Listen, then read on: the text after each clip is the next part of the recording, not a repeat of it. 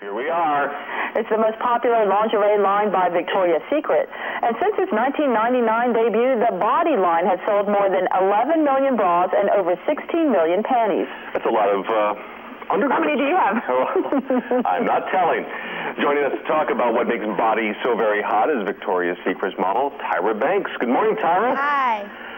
Now, I've got my own ideas, but, but in your mind, why is this line so popular? Well, I think the Body by Victoria line is so popular because it's sexy, but at the same time, it's very wearable. It's very soft. It moves with you. It's made with lycra, so it stretches and curves with the body. Um, and also now it's they've extended the line and made a full coverage bra, which covers more of the of the um, cleavage, and um, and and it extends to sizes 40 double D. So now other women can wear Victoria's Secret, larger women that felt like they were maybe alienated in the past. Now they can wear this and, and feel sexy too. And there's a lot of the secret when you're talking about lycra, the material, because that really makes a difference in how it really fits you. Yeah, it does. I mean, it really stretches with you, you know, because, you know, everybody is different. Everybody is unique. Everybody, everybody, as in their person, is um, different. So this stretches with you and conforms to you. That's why so many women love it so much.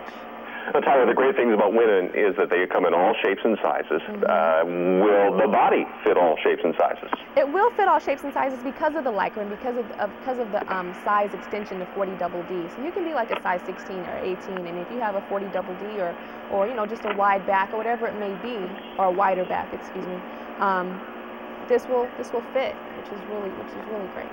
And what kind of input do you hear from other women? Because a lot of larger sizes do feel that they've been neglected. Yeah, they do feel neglected. I mean, I'm slightly larger, you know, and um, I was really happy when they came out with the full coverage bra, and I was really happy when they chose me to to represent the line and to do the commercial because I was like, you know, now I can represent this and say, you know, everybody can can be sexy now, or most most women can be sexy and wear this and feel like they're part of the Victoria's Secret, you know, brand because you know it is a sexy line and you know women talk about it in the office and you know now everybody can talk about it and be like oh yeah i have it on too see? There you go. There we go. And now we can talk about it this morning. Tyra banks thanks for joining us thanks. this morning. Take Thank care. you.